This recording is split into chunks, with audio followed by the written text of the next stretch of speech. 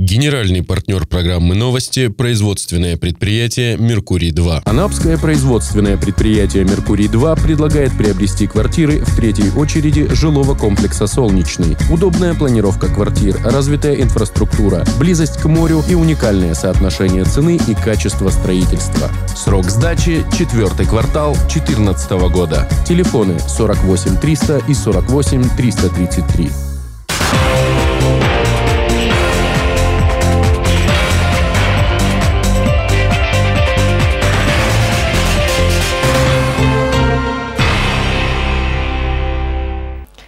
Эфир канала РЕН-ТВ продолжает новости Анапа регион. В студии Ирина Меркурьева. Здравствуйте. Смотрите сегодня в выпуске.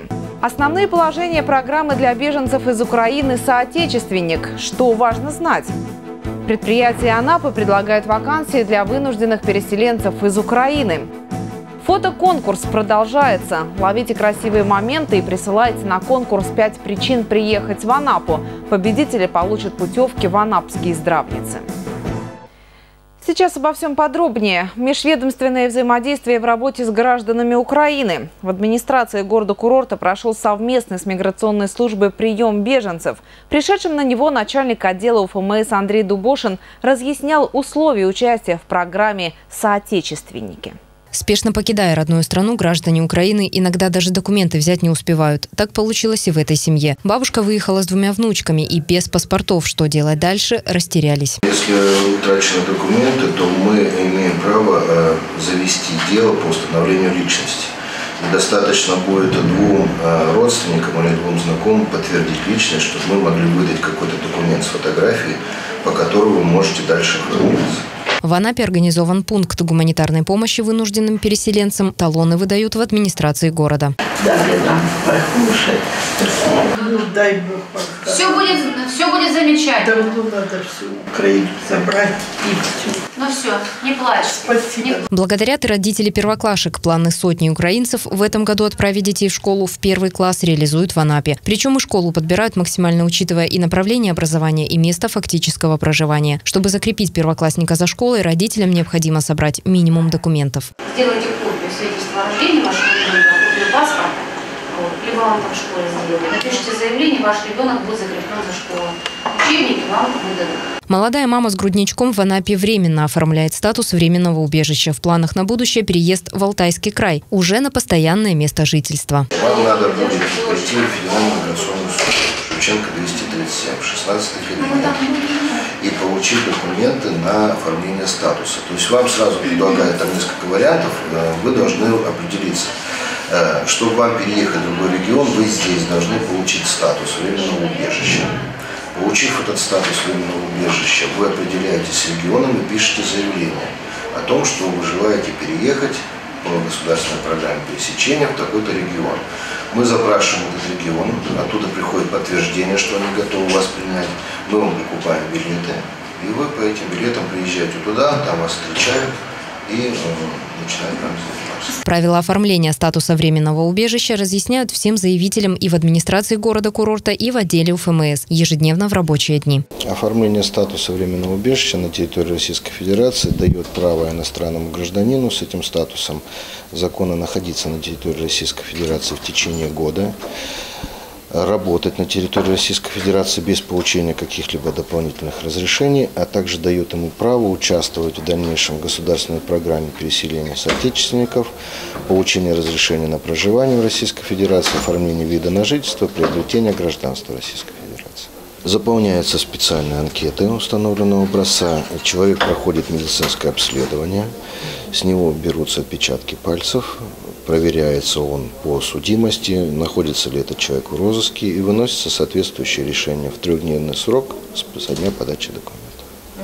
В большинстве обращений за консультациями граждан Луганской и Донецкой областей Украины вопросы о порядке оформления статуса временного убежища и возможности трудоустройства. Напомним, специалисты УФМС ведут прием в рабочие дни по адресу улица Шевченко, 237. И в продолжение темы ярмарка вакансий для беженцев из Украины и выездной прием специалистов отдела УФМС и управления образования прошел в Центре культуры Родина. Надежда Демина приехала в Анапу из города Антрацит Луганской области. На родине остался дом, хозяйство и работа. Спокойное течение обустроенной жизни резко изменилось. Мы, в общем, жили. там и неплохо жили. И у нас был свой дом, и у нас было хозяйство. А тут запутались чуть-чуть. У Надежды несколько вопросов, и к работодателям ей необходим легкий труд из-за инвалидности, к представителю отдела УФМС, как правильно оформить документы и с чего начать, и к специалисту управления образования, внучке в этом году в первый класс. Дочка беременная, и это в первый класс ее надо оформлять. И поэтому не сообразим, что у нас с регистрацией. Нам надо регистрацию, чтобы нас оформили на работу или куда-то, или как-то. В первый класс в этом году пойдет и Илья Семененко. Узнают с мамой, как правильно закрепиться за школой. Да, пойдет сказали, даже канцелярию выдадут на первое время. В какую школу? В 15-ю Гастагаевская столица. Выездной прием на ярмарке вакансий проводят специалисты отдела УФМС по городу Анапа и Управления образования. Тем, кто уже разобрался с бумажной волокитой и готов устроиться на работу, представители анапских предприятий предлагают вакансии. Санаторий Анапа-Океан, отель Гранд Прибой, смена Делуч и Почта России готовы трудоустроить граждан Донецкой и Луганской областей, получивших статус временного убежища или патент на работу. Сегодня мы проводим ярмарку вакансий для граждан Украины, прибывших из Луганской и Донецкой областей. У нас представлены 8 предприятий. Это в основном, конечно, санаторно-курортная отрасль, также Почта России и сельскохозяйственное предприятие УПХ «Анапа». Всего около 200 вакансий. Также мы представляем вакансии от база Центра занятости, около 4000 вакансий, и вакансии других регионов. На рынке труда востребованы высококвалифицированные специалисты, работники со средним специальным образованием. Есть вакансии, не требующие специальной подготовки. Сейчас в разгар курортного сезона востребованы профессии именно санаторно-курортного отрасли. Это и повара, кухрабочие, официанты, горничные, дворники, озеленители, врачи, медсестры. Но и в преддверии начала учебного года э, также учителя, преподаватели – воспитатели в детские сады. Все это очень востребовано на сегодняшний день. Средняя зарплата 15-20 тысяч. Полный перечень вакансий и правила оформления документов для трудоустройства подскажут специалисты Анапского центра занятости. И всегда готовы дать консультации сотрудники отдела УФМС и управления образования. Адреса на экране. Два месяца назад в эфире нашего телеканала вышел сюжет о стихийной свалке на трассе в районе хутора Куток. По дороге на даче продолжает работать группа контроля. В сюжете мы показывали кадры, где хорошо видны номера машин и лица тех, кто ежедневно оставляет бытовые отходы на обочине. Свалка здесь запрещена. Администрация станицы Анапской борется с нарушителями, и результаты этой работы уже заметны. Незаконная стихийная свалка возле дачных кооперативов уже давно беспокоит неравнодушных жителей курорта. Никаких правоустанавливающих документов на организацию свалки мусора в этом районе не выдавалось. Тем не менее, свалка есть. Бытовой строительный мусор оставляют ежедневно, зная наверняка. Здесь работает скрытая камера наблюдения. Но и этот факт нарушителей экологического баланса не останавливает. Мы больше 200 машин вывезли только с посадок мусора. Это стихийные свалки только что делаем и убираем. И э, работа сложная, работа необычная. Но мы боремся Назад сдаваться мы не будем, мы будем идти до конца и сделаем все, чтобы победить эту проблему. Сотрудники администрации Анапского сельского округа приглашают жителей, не заботящихся о экологии и чистоте своего города, на беседы, проводят профилактические мероприятия. Если раньше каждый день с места свалки вывозили мусор спецтранспортом, теперь количество отходов до 15-20 мешков в день. Маленький, но уже результат. Как вы видите, это вот набросали за 4 дня. Пользуясь случаем, хотелось бы обратиться к гражданам и сказать, что перестаньте делать вот этот бардак. Начните себя уважать. Каждый уважающий человек себя никогда в жизни не позволит сделать вот это, то, что они делают. Каждый должен понимать, что они калечат природу и подрывает имидж города-курорта Анапы. И это очень важно. Чистота в городе и сельских населенных пунктах зависит от самих жителей. Чисто там, где не мусорят и не оставляют мешки с отходами на обочинах дорог. Для мусора установлены специальные контейнеры. Неизвестно, что движет людьми, которые создают стихийные свалки, потому что вывалить гору мусора в своем доме может далеко не каждый здравомыслящий человек. Пять причин приехать в Анапу. У каждого участника конкурса, организованного администрацией города, выглядит по-разному. А повод принять участие у всех один – себя показать и выиграть главный приз – путевку на отдых в одной из анапских здравниц. 20 человек уже заявили свои права на победу.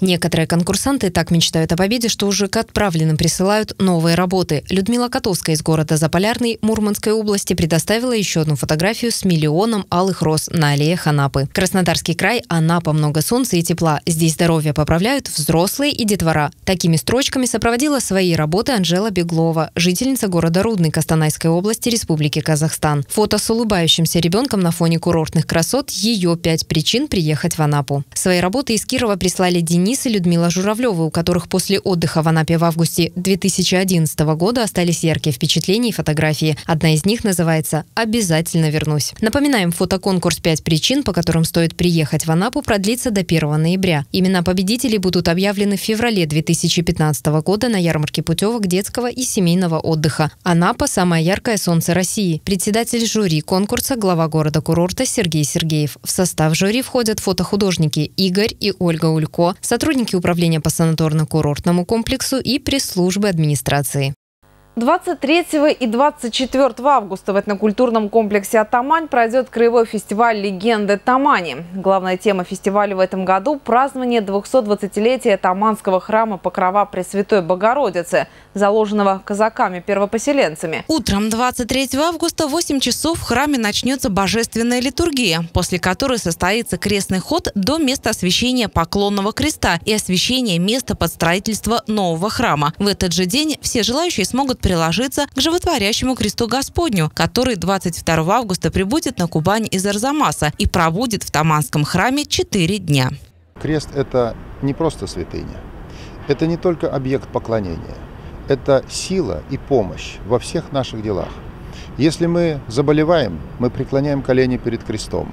Вот потому привезенная святыня из Арзамаса, где она хранится, как свидетельствуют очевидцы, с 17 столетия – которая всегда помогает людям, это великая честь и благословение земле Кубанской.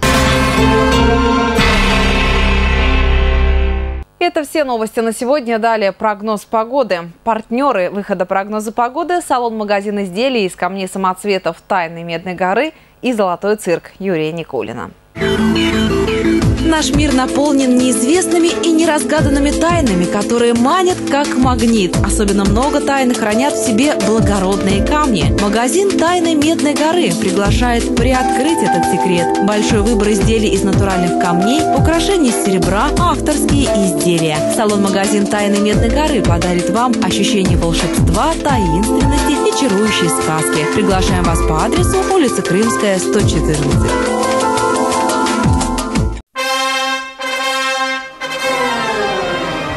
Уважаемая публика, дорогие ребята, Золотой цирк Юрия Никулина снова в Анапе. Только выдающиеся артисты получили право выступать под сводами цирка великого клоуна. Итак, мы начинаем.